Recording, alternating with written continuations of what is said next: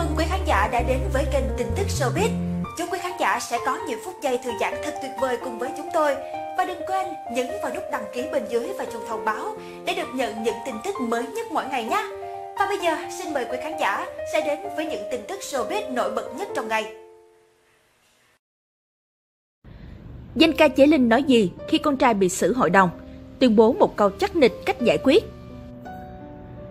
Sau khi biết tin Chế Phi bị đánh hội đồng, Chế Linh mới đây đã lên tiếng nói rõ quan điểm của mình. Nam danh ca còn nhắn nhủ đến con trai cách giải quyết chuyện này. Hôm ngày 3 tháng 8, dư luận xôn xao trước thông tin Chế Phi, con trai danh ca Chế Linh bị đánh hội đồng trong hầm gửi xe của một chung cư tại thành phố Hồ Chí Minh. Đoạn clip nhóm người lao vào ẩu đả khiến công chúng sửng sốt. Nguyên nhân thật sự dẫn đến chuyện này đến nay vẫn chưa được tiết lộ. Ngay sau đó, Chế Linh đã lên tiếng trong clip đăng tải trên kênh youtube của mình. Theo đó, giọng ca Thói Đời cho biết ông rất lo lắng khi nhận tin Chế Phi bị đánh, nhưng bản thân cũng chưa biết thực hư ra sao, vẫn chờ cơ quan chức năng điều tra. Chế Linh khẳng định, dù sự việc trên xảy ra theo hướng nào, thì vẫn muốn khuyên con trai nên giải quyết mọi chuyện theo hướng ôn hòa, thay vì làm lớn lên. Theo Chế Linh, một điều nhịn, chính điều lành, Chế Phi nên gặp gỡ nhóm người đã hành hung mình để hòa giải. Đây là sự yêu cầu tha thiết của cha, lúc nào cha cũng dạy con giải quyết vấn đề bằng sự hiền hòa nhất.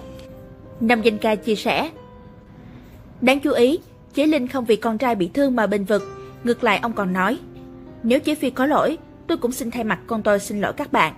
Tôi đã lớn tuổi rồi, tôi thấy tất cả sự việc đều có cách giải quyết để chuyện lớn hóa nhỏ. Vì thế, nếu có thể, tôi đề nghị hai bên được gặp gỡ nhau để bắt tay đối mặt nhau, nhìn nhận vấn đề. Còn phải, lỗi thì tính sao? Anh em cứ bắt tay đi rồi chấp nhận tha thứ cho nhau. Đó là việc vô cùng bổ ích, không phải cho các bạn ấy mà cho cả xã hội. Chế Linh chia sẻ thêm, bản thân ông nghi ngờ hai bên đã sử dụng đồ uống có cồn nên mới xảy ra mâu thuẫn, không kiểm soát được hành vi.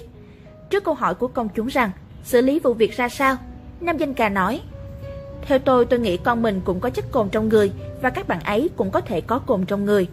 Cho nên cả hai bên không kiểm soát được cách xử sự. Vì thế khi tỉnh lại, họ sẽ thấy được tai họa xảy ra thế nào khi dùng chất cồn. Theo tìm hiểu, rạng sáng ngày 3 tháng 8, Chí Phi có xảy ra tranh cãi với một người đàn ông trong hầm để xe chung cư Mỹ Đức. Đối phương sau đó đã gọi thêm vài người đến xô xát với nam ca sĩ. Mặc cho con trai chế Linh bỏ đi, nhóm người vẫn đuổi đánh anh. Tất cả đều đã được ghi lại qua camera tòa nhà. Vụ việc này hiện đang được công an phường 21, quận Bình Thạnh tiếp tục điều tra làm rõ. Xin chân thành cảm ơn quý vị và các bạn đã quan tâm và theo dõi video. Hãy nhấn vào nút đăng ký bên dưới để theo dõi những video mới nhất được cập nhật mỗi ngày quý vị nhé.